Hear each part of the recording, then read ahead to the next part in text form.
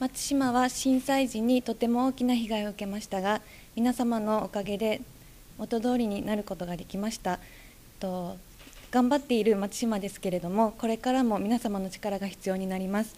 ぜひ松島においでいただいて皆様の力をお貸しいただきたいと思います。よろしくお願いいたします。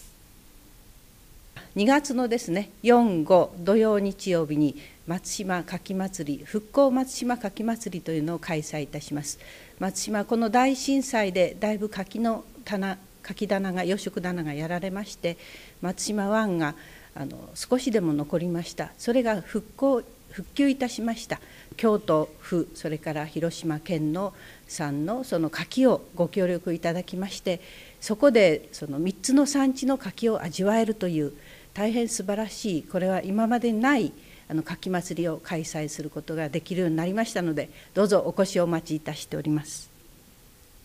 えー、現在、えー、平成の大改修ということで本堂の拝観はできませんが、えー、特別公開として国宝の栗、えー、養徳院のお玉屋を、えー、拝観しております、えー、ぜひご覧になっていただければと思います、えー、今年が辰年ということもあってと天橋立は竜のように見えるので竜巡りという企画をしています。ぜひ、えー、開運祈願にお越しください。宮島では2月11、12日に柿祭りが行われます。松島の牡蠣祭りも2月4日、5日に行われますので次の週宮島にぜひお越しください。宮島島内にも平清盛館ドラマ館がオープンいたしましたこちらも1年間の企画展示ですのでぜひお越しください